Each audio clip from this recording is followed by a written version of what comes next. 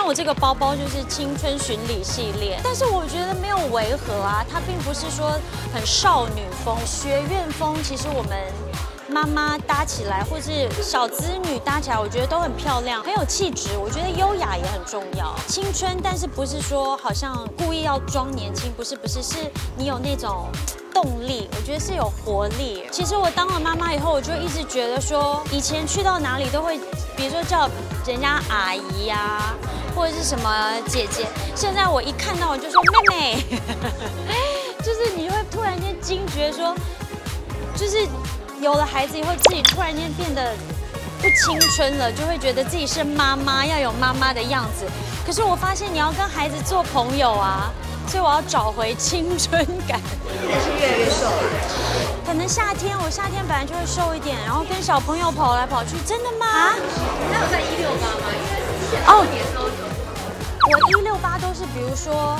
如果隔一天要穿很紧的衣服，或者是有活动要，就是一定要塞进某一些衣服，我才会有比较剧烈的减肥的饮食。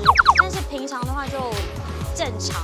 那如果你觉得这个礼拜比较胖，那我大概就会一个礼拜选一天，就是一天或两天，就是减糖减淀粉这样子。但是我不会每天，因为很难那个。早上一早，小朋友，我们家两个小朋友都是那种好早就起床的，或是你真的是觉得最近牛仔裤比较紧，我觉得一个礼拜选一到两天，然后就是在八小时之内吃，然后减糖减淀粉也会让皮肤比较好了。我后来有发现，戒奶蛋也是，就是比较不会长粉刺，因为我都比如说早上十点吃到晚上六点嘛。